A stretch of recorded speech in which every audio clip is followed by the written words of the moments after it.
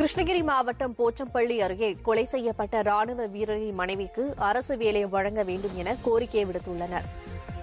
வேலம்பட்டி எம்ஜிஆர் நகரைச் சேர்ந்த திமுக கவுன்சிலர் சின்னசாமி என்பவர் தனது குடும்ப உறுப்பினர்களுடன் சென்று தாக்கியதில் ராணுவ வீரர் பிரபு படுகாயமடைந்து மருத்துவமனையில் உயிரிழந்தார்.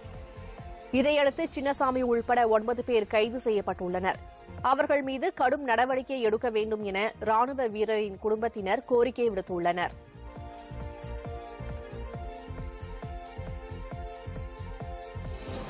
குனிஞ்சிருந்த எங்க வீட்டுக்கார தலைமையில அடிச்சு அந்த இரும்புல ஆடுல வந்து பிரபாகரன் தான் அடிச்சது. எங்க வீட்டுக்கார அவனாலதான் செத்தது. எனக்கு ஒரு கவர்மெண்ட் ஜாப் கொடுங்க. என் கலந் என் குழந்தை ரெண்டு சின்ன கை குழந்தை ரெண்டு என் பொண்ணு. அவங்களுக்கு ஏதாவது ஒரு வழி பண்ணுங்க.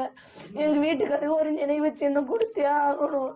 ஏதாவது ஒரு நிவாரணம் கொடுங்க. நான் வேற எதுவுமே கேட்கல.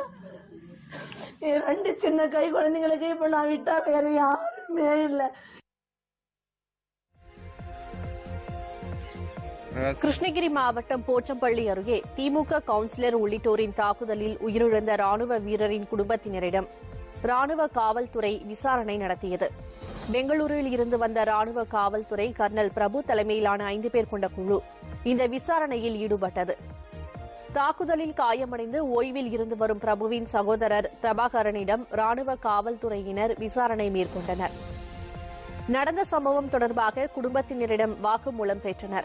ராணுவ வீரர் உயிரிழப்பு தொடர்பாக திமுக கவுன்சிலர் உள்ளிட்ட ஒன்பது பேர் ஏற்கனவே கைது செய்யப்பட்டுள்ளனர்.